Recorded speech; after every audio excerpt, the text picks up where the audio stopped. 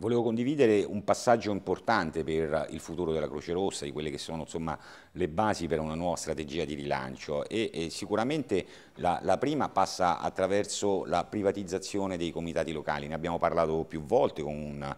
con uh, i comitati cui, che sono stato a visitare, con cui mi sono trovato a confrontarmi, con tanti volontari in alcune occasioni, mi domandavano. Allora, forse è, è, il caso di, di uh, dare alcune informazioni nei limiti di quello che uno strumento come quello che sto utilizzando consente. La privatizzazione significa rimettere al centro le attività dei comitati locali senza essere penalizzati dalla normativa pubblica e dall'appesantimento che da questo ne, ne deriva. Significa essere rimessi in pista alla pari con le altre associazioni presenti sul, sul, territorio in cui si opera. Oggi noi paghiamo un prezzo altissimo alla burocrazia ed è bene che eh, questa venga eliminata il più possibile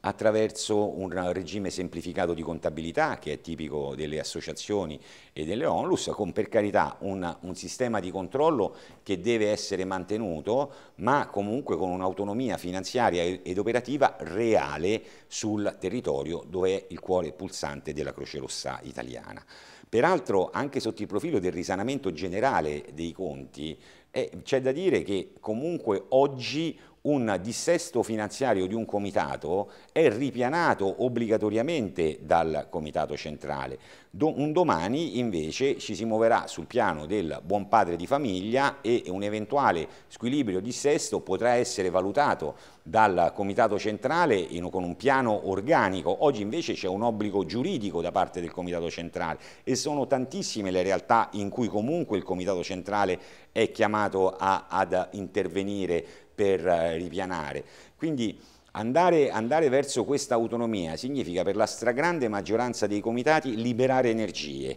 significa veramente essere concorrenziali, significa veramente poter essere vicino a chi soffre, a chi è in condizioni di disagio, a chi è in condizioni di difficoltà, alla vulnerabilità in maniera snella, rapida, efficace, senza carte, senza burocrazia, ma con delle regole chiare e ovviamente con una trasparenza, ma in un'ottica di rinnovata anche democrazia. La partecipazione che io sto sto chiedendo a tutti, il confronto, il, il controllo dei bilanci, la partecipazione nei comitati quando, quando, si andranno ad approvare i bilanci di previsione e i conti consuntivi. Quelli sono i momenti democratici più importanti in cui ci si confronta con i propri presidenti, il proprio consiglio direttivo per verificare che effettivamente vi sia stata una operatività adeguata alle risorse che, eh, che, vengono, che vengono destinate sul territorio. C'è un altro passaggio che a mio avviso eh, è molto interessante anche da approfondire. Quello del 5 per 1000 può sembrare una sciocchezza, in realtà è profondamente importante. Ancora una volta in questi giorni Croce Rossa Italiana è impegnata, come tantissime altre associazioni, sul territorio a, a, fare la propria campagna del 5 per 1000, ma il numero delle adesioni che eh, riscontriamo sul, sulla nostra campagna è molto più basso rispetto agli, allo stesso numero totale dei soci iscritti. Quindi questo significa che c'è comunque una sensazione di lontananza rispetto al comitato centrale, mentre invece noi riteniamo che potendo fare una campagna sul territorio vi possa essere un'amplificazione di questa risposta che può arrivare anche attraverso uno strumento importantissimo come quello del 5 per 1000. Se io faccio la campagna del 5 per 1000 per la Croce Rossa del mio comitato, tutti i soci, tutti i volontari che quotidianamente sono impegnati, sono sicuro che si muoveranno e si muoveranno molto di più di quanto non facciano oggi per questo comitato centrale che tante volte ha creato, ha creato problemi. Quindi a mio avviso può esserci anche un'amplificazione della capacità di raccolta, una maggiore, una maggiore eh, dinamicità nel rapporto con i propri enti locali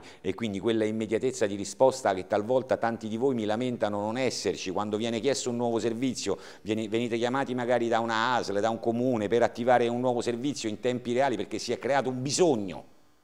e quindi si parte invece con tutta una procedura che prevede mille autorizzazioni, mille fogli, mille pezzi di carta che io mi auguro possano venir meno il, il prima possibile, attivando degli strumenti di garanzia per tutti ma mantenendo veramente quella flessibilità che se si vuole essere vicino a chi è in condizioni di sofferenza non può mancare.